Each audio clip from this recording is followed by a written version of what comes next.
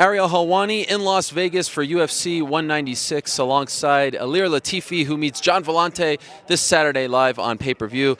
Ilir, it's good to see you, and what a quick turnaround for you. We just saw you, you know, a few weeks ago in Boston. Was this something that you wanted? You wanted to stay busy and come right back and fight? I mean, you know, if I'm healthy and everything is good, you know, why not fight? You know, it's uh, it's good for me. It takes me to the to the next step. You know, closer to to the top. I understand this is your first time in Las Vegas. Is that true? Yeah, it actually is, and uh, I really like Las Vegas. You know, it's since I was a kid seeing Tyson fight here in MGM, it was like always a dream. You know, being here in the future and fighting, and now actually being here is like it's a great feeling. You know. So was this something as you were climbing the ranks you said, okay, this is a goal of mine. I want to fight in the fight capital of the world? Yeah, I always said MGM and Madison Square Garden. Yeah. I got to fight there, you know. Yes. I think a lot of people would like to fight there as well. Um, and it also seems like they're putting you in, in America more, the, the American cards. Do you like that as opposed to just being stuck on the European cards? Uh, I fight all over the world. I love fighting in the in the U.S. and America because uh, you know the fan base here is. Uh, I have a big fan base here that's growing, and uh, they need to see me fight more here. You know. Yeah. Um, I notice you don't have that Swedish tan right now. No. You have that Florida tan. Yeah. You've been training at ATT. Is that your new team now? And I'm still with my team back in Sweden. That's my like uh, home hometown team. And when I'm back in Sweden visiting, I train with uh, with my team there.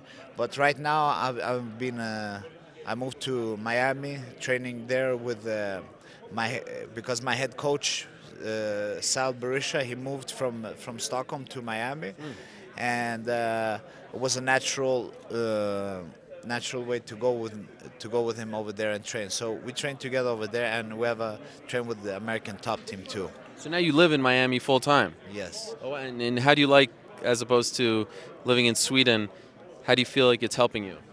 Uh, I mean, it's it's great training there. Um, we haven't made like big big differences in our training, you know, but we adapt and we learn new stuff. But you know, the weather is great, so uh, the body recovers good, and um, I mean, you have the beaches and you have a different way of relaxing. That's nice, but still, you know, you have to put the hours of, of training and grind in every day.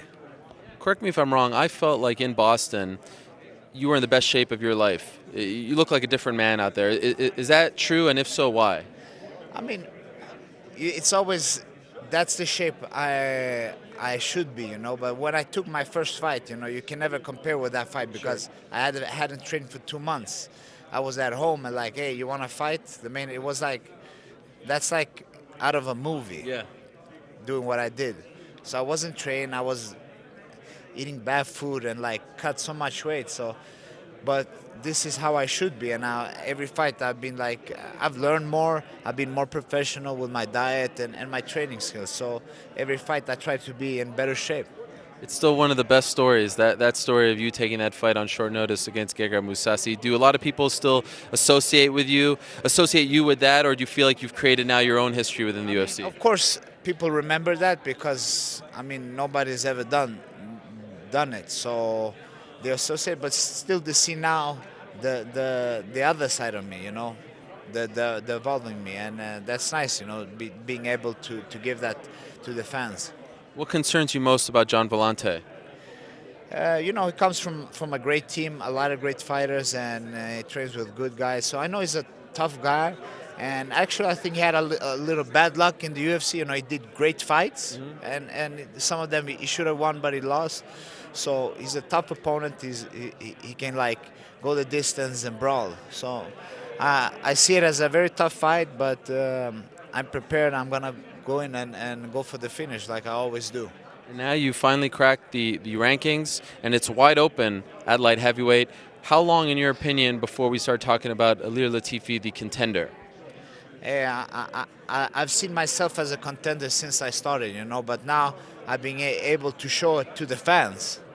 And, uh, you know, let's take this fight uh, on Saturday, and I, I'm going for the win. And then after that, you know, I don't see it, see it far, seeing me as, as a contender, you know. I know I can deliver that, and I know I, I could give anybody over there uh, a great fight and win. Looking forward to it. Best of luck to you.